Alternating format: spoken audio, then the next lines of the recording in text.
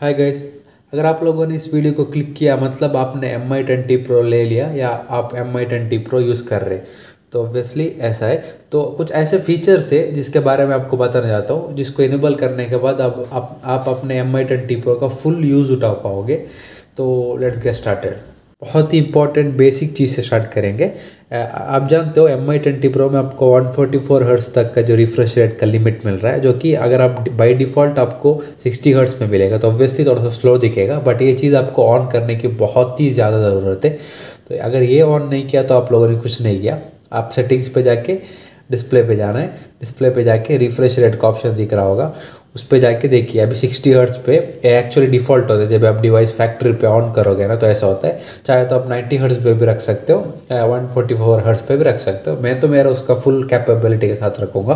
तो obviously one forty four hertz के साथ आ गया। आप भी उसका डिवाइस का जो एक्सपीरियंस है ना दुगना हो जाता है स्मूथनेस के मामले में। काइंड ऑफ़ ऐसा समझ लो कि पैन में आप बटर डाल दिया हो, उतना स्मूथ एक्सपीरियंस तो ये चीज़ बहुत ही ज़रूर ऑन करना है, अगर आप एम आई ट्वेंटी ले लिया।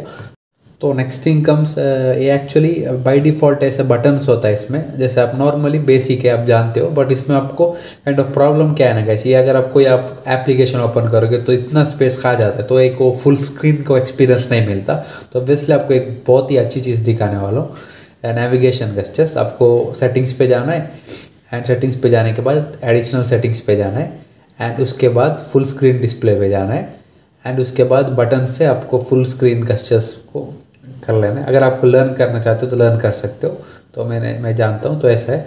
तो अगर आप ऐसा करोगे तो कम्प्लीटली आप बैक काइंड ऑफ़ क्लोज कर सकते हैं एप्लीकेशन फिर आप ऐसे साइड के करोगे तो एक एप्लीकेशन से पीछे जा सकते हो। बट अगर कंप्लीटली क्लोज करना है तो ऐसे क्लोज कर सकते हो।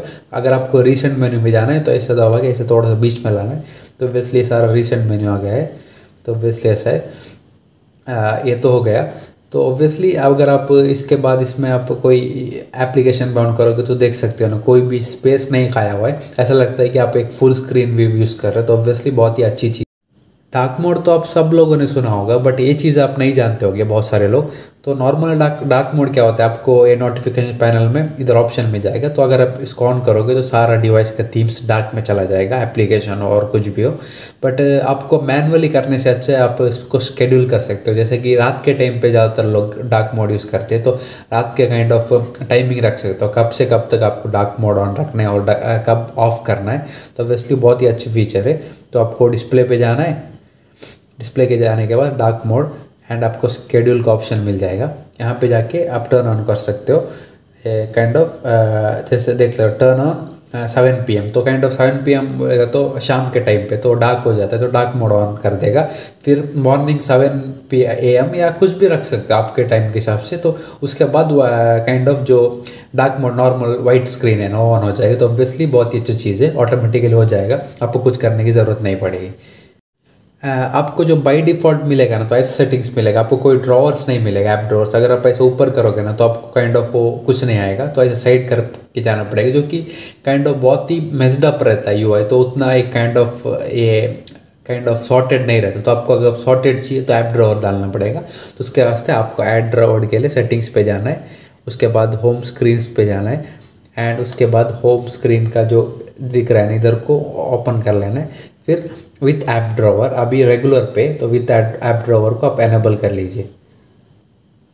एंड उसके बाद देख सकते हो अभी। अभी आप ऐप ड्रॉवर के तो सारा सॉर्टेड लग रहा है, एकदम मेजडअप नहीं लग रहा, जो चाहिए आप यूज़ कर सकते हो। इसके बाद एक बहुत इंपॉर्टेंट चीज़ है इसमें ना एक काइंड ऑफ़ ऑटोमेटिक रहता है, जो हम ऐप ड्रॉवर ऑन करते हैं ना तो इधर रहेगा। अगर आपको कोई कस्टम ऐसा चीज़ चाहिए, जो कि आप डेली लाइफ में यूज़ करते हो, जैसे मैंने अभी सेट किया हुआ डेली इतनी चीज़, जो व्हाट्सएप यूट्यूब यूट्यूब स्टूडियो तो ऐसा कुछ एप्लीकेशन है तो आपको ऐसा करना है तो आपको भी सॉर्टेड तो ऐसा क्लिक करना है इधर, दिख रहा है ना। एंड उसके बाद आपको मैनेज ऐप कैटेगरी पे जाना है। एंड आपको उसमें, अब चाहे तो कुछ भी ऐड कर सकते हो। कस्टम मैंने कस्टम ऐड करके डेली पे नाम चेंज किया। आप कस्टम ऑन करके, कुछ भी चूज़ करके उसको नाम डाल के सेट कर सकते हो। तो ऐसा है। कुछ मैं अभी दो तीन एप्लीकेशन ऐसे ही फॉर रैंडम भी सेलेक्ट करूँगा।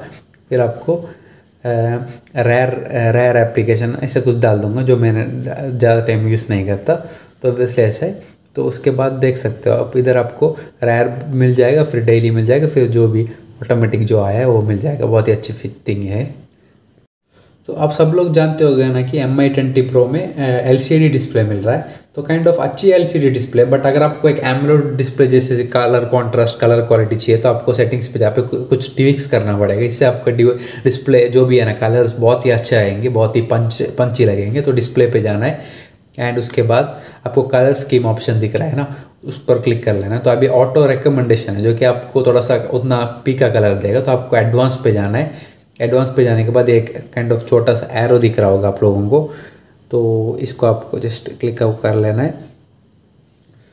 तो एरो क्लिक कर लें। फिर इसमें आपको एक्चुअली मैंने पी थ्री गैमेट चूज़ किया, जो कि बहुत ही कलर पंची कलर लगा। तो ऑब्वियसली ये मुझे लगता है अगर आप कैमरा डिस्प्लेस जो पसंद है तो ये ज़रूर ऑन कीजिए। इससे बहुत ही अच्छा आपको कलर का जो भी है पंचीनेस और बढ़ा देता है तो ऑब्वियसली बहुत ही बेटर है।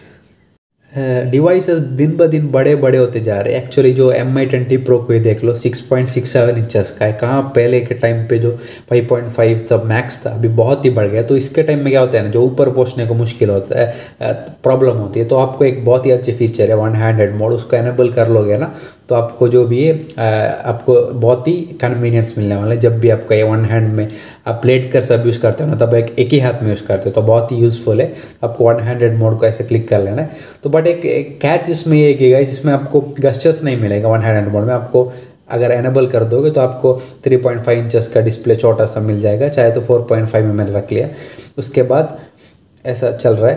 तो काइंड ऑफ़ ये आपको ध्यान में रखना है। आपको अगर आप ये वन हैंड मोड ऑन करोगे तो आपको गस्चर्स का जो भी नेविगेशन गस्चर्स है ना, उसको ऑफ़ कर लेना है। तो नॉर्मल बटन्स पे आना है।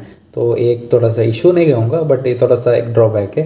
तो अब ऐसा करोगे तो देख सकते हैं आप। कुछ भी अगर आप यूज़ कर रहे हो एप्लीकेशन डबल क्लिक करोगे तो नॉर्मल मोड पे आ जाएगा। कुछ एप्लीकेशन आप यूज़ कर रहे हो तो आपको ऊपर पहुँचना है। जस्ट आपको ऐसा स्वाइप करना है। अगर आपको सब कुछ आपका काम, आप आराम से देख सकते हो, एक हाथ में आप किधर भी पहुँच सकते हो डिवाइस के तो आप डबल क्लिक करोगे तो नॉर्मल मोड में आ जाएगा। अगर आपको ऐसा लेफ़्ट साइड पर ऐसा स्वाइप करोगे तो लेफ़्ट साइड पर आ जाएगा। तो ऑब्वियसली बहुत ही अच्छा कन्वीनियंट फीचर है। आप ज़रूर यूज़ यूज़ कर सकते हो।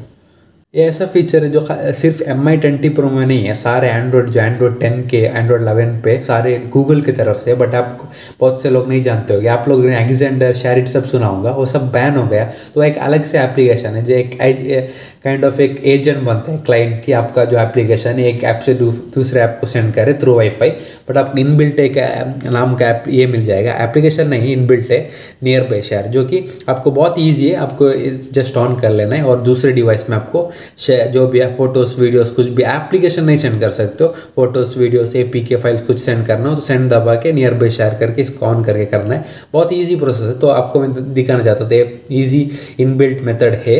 तो फिर दूसरा मेथड है आपको स्क्रीन रिकॉर्डिंग आप नहीं जानते हो तो स्क्रीन रिकॉर्ड भी आप कर सकते हो, इसके M I M I U I में सारे एम आई यू आई के डिवाइस में मिल जाएँगे। अभी कुछ मैं ऐसे स्पेशल फीचर्स के बारे में बताने बताने वाला हूँ, जो कि सिर्फ़ एम आई ट्वेंटी प्रो में नहीं, सारे जो भी M I U I ten eleven twelve में आपको मिल जाएगा ये थिंग आपको जस्ट काइंड ऑफ़ जब आप सेटिंग्स पे आओगे, थोड़ा सा स्क्रॉल डाउन करना है। स्क्रॉल डाउन करने के बाद को यहाँ पे स्पेशल फीचर्स दिखेगा। यहाँ पे बहुत सारे ऑप्शन है गेमिंग टर्बो जो कि ऑटोमेटिकली अब जब गेम ऑन करोगे तो इसका आपको उतना ज़रूरत नहीं ऑटोमेटिकली हो जाएगा। वीडियो टूल बॉक्स जिससे कि है ना, आपका जो भी आप वीडियो प्ले करते हो ना, जैसे कि यूट्यूब पे काइंड ऑफ़ तो जो फ्रेम रेट है ना, अगर आप उसका थर्टी एफ़ पी एस तक हो तो यह काइंड ऑफ़ बढ़ा देता है M E M C technology कहते हैं। ये वन प्लस का एट प्रो सीरीज़ में भी था और इसमें अवेलेबल है। बट एक्चुअली क्या होता है ना, अगर आप ये ऑन करोगे ना तो आपको थोड़ा सा बैटरी रेंज ज़्यादा देखने को मिलेगा तो ये थोड़ा सा इशू है। नेक्स्ट है बहुत ही अच्छा इंपॉर्टेंट फीचर है फॉर मल्टीटास्किंग के लिए, बहुत ही अच्छी चीज़ है फ्लोटिंग विंडो तो एक्चुअली क्या है ना गाइस जिसमें आपको थोड़ा सा डायरेक्शन बताया हुआ है कैसे आप इसको एनेबल कर सकते हो फ्लोटिंग विंडो को. Opening floating window press and hold and pull the action bar ये आपको मैं एक डेमो दिखाने वाला हूँ. एक्चुअली मेरे पास दूसरे एक डिवाइस है. जैसे एग्ज़ाम्पल मेरे पास व्हाट्सअप में कुछ व्हाट्सअप में मैं मैसेज करने वाला हूँ इस एप्लीकेशन में. वेट तो ऑब्वियसली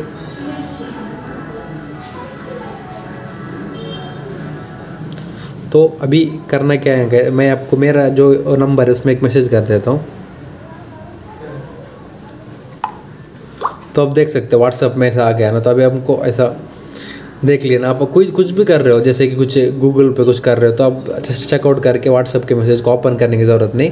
ऐसे चेकआउट करके आप रिप्लाई करके आ, अगर आपको थोड़ा सा कॉर्नर पे तो आपको ऐसा साइड पे भी रख सकते हो। आप बाद में आप कुछ मैसेज आएगा, देख, बहुत ही मुझे यूज़फुल फीचर लगा मुझे। ये फीचर है ना, मैं बहुत लाइक कर रहा हूँ। मैं और बहुत ही यूज़ भी करना स्टार्ट किया हूँ, बहुत ही अच्छी फीचर है कन्वीनियंस के लिए। Last feature but not the least actually ये बहुत इंपॉर्टेंट अगर आप कोई मोबाइल पे कोई बुक्स या टेक्स्ट ज़्यादातर पढ़ते हो तो बहुत ही अच्छी चीज़ है रीडिंग मोड आपको जिस सबसे पहले है ना डिस्प्ले पे जाके उसको एनेबल कर लेना है। थोड़ा सा वो सेटिंग को हम चेंज करना है। उसके बाद मैं आपको दिखाया था रीडिंग मोड तो एक्चुअली आप देख सकते हो रीडिंग मोड को जस्ट एनेबल कर दो। उसके बाद दो ऑप्शन मिलेगा, एक पेपर और फिर एक क्लासिक क्लासिक सिर्फ़ आपको है ना, वो काइंड ऑफ़ वार्म कलर देगा ताकि तो आँखों को उतना इफ़ेक्ट ना हो। बट ये पेपर क्या है ना जो आपको पेपर में जो टेक्सचर लगते हैं पता नहीं आप देख पा रहे हो या नहीं, मैं आपको नज़दीक से दिखा देता हूँ। ये काइंड ऑफ़ जो पेपर का डॉट डॉट टेक्सचर दिखाई देते हैं ऐसे दिखते हैं। तो रीडिंग के टाइम पर बहुत ही आसानी होती है और जो आँखों को बहुत लंबे टाइम तक भी आप रीड कर सकते हो।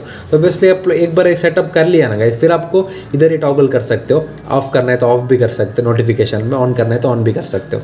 तो जस्ट आपको सेटअप करना है, उसके बाद आप नॉर्मली जैसे यूज़ करते हो, वैसे डिवाइस यूज़ कर सकते हो। गाइज़ अगर आपको वीडियो पसंद आए तो प्लीज़ चैनल को सब्सक्राइब कर लो और वीडियो को लाइक कर लो। आपका बाय थाउज़ेंड सब्सक्राइबर के बहुत ही करीब है और थैंक यू वेरी मच